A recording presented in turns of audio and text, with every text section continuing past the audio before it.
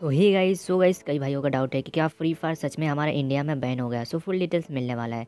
So guys जैसे कि आप देख सकते हो कि गवर्नमेंट ने 50 ऐप्स बैन कर दिया है जो उन्हें लगता है कि, कि वो चाइनीज़ मतलब ऐप्स है जो चाइनीज़ ऐप बहुत सारे बैन हुए हैं उनका कॉपी है।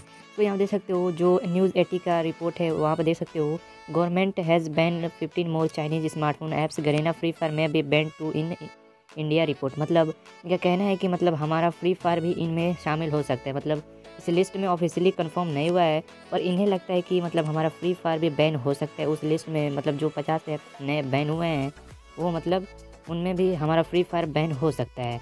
आगे देख सकते हो the government has be reportedly banned fifteen more smartphone apps in India that be Chinese origin that is first lot apps that appears to have been banned by the government in two thousand twenty two after a total of मतलब इनका कहना है कि मतलब जो पहले TikTok था, वैसे ही कई ऐप, जैसे आप जानते हो कि शॉर्ट वीडियो वाला ऐप, कई चाइनीज़ ऐप था।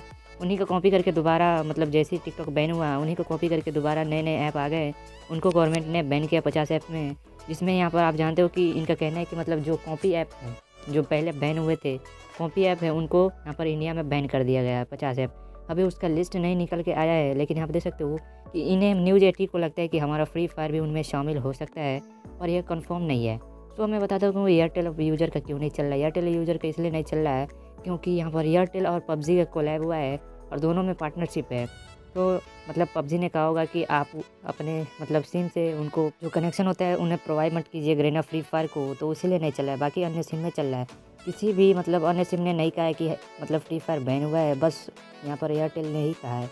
तो घबराने की कोई बात नहीं है, यहाँ पर हमारा फ्री फायर अभी ऑफिशियली कंफर्म नहीं हुआ है कि बैन हुआ है कि नहीं। तो ऐसे ही पल पल की खबर जानने के लिए फ्री फायर की पल पल की खबर जानने के लिए चैनल को सब्सक्राइब कर लेना। है